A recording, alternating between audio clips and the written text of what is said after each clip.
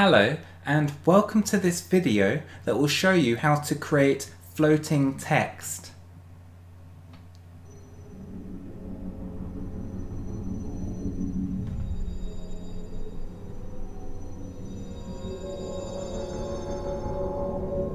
How to create floating text. Floating text is extremely important because it allows you to have text that's in the air and it floats as well. So, very important. All you'll need is one of these. It's a magic marker and you can just begin writing words in the air. It should look something like like this.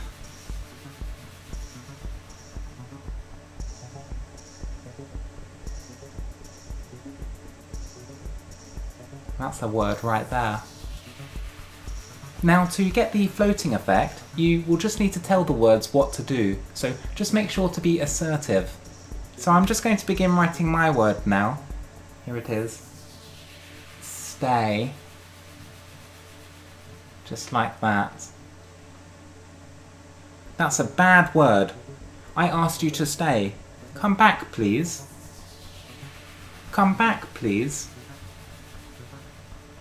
Come back, please. Thank you. That's better. You need to stay when I command you to. Sometimes you just need to give them a little bit of encouragement, which should help. That's it. You're doing really good. Stay on the screen. That's it. Who's a good text? You're a good text. You're a very good text. Well-behaved text. Very good text. Just like that. A bit of text training is needed and generally the text will behave to your liking.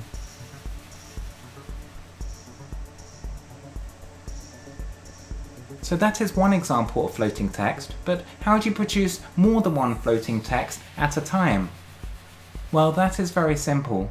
Type your first bit of text to begin with. So start with this. Hello. Now that we've got that, we can begin with the next bit of text hi, just like that. And that's all it takes really. You have two bits of floating text on the screen.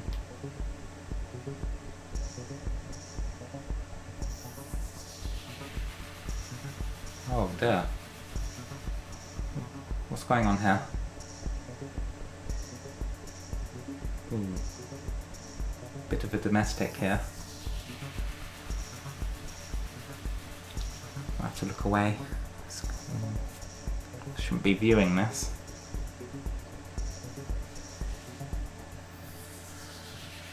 Hmm.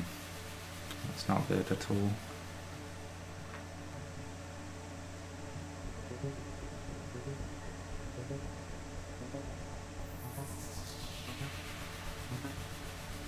Let us now try and create some coloured text. So we'll start by using blue. I think that is a good colour to use for floating text. So let's try that now.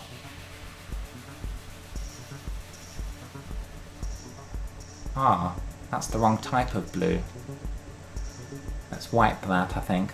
Let's try again. Okay. Oh no, that's completely wrong. Not going well at the moment. Wipe that. Okay, we'll try one more time. Oh, there we go. Got there in the end. I have to be honest, it is not easy to produce floating text, as we have seen, but once you practice, eventually you'll get to a standard where you could just produce any form of text, like this coloured text that is still here on the screen. And that completes the tutorial on how to create floating text.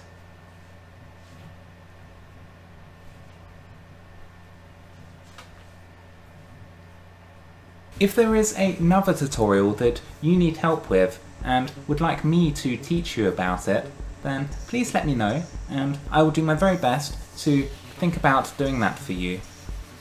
Well, I'm going to go now and socialise with some friends, so I'll catch you all later. Uh, goodbye.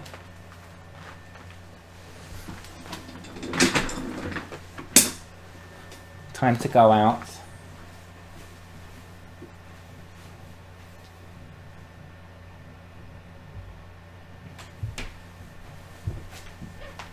Uh,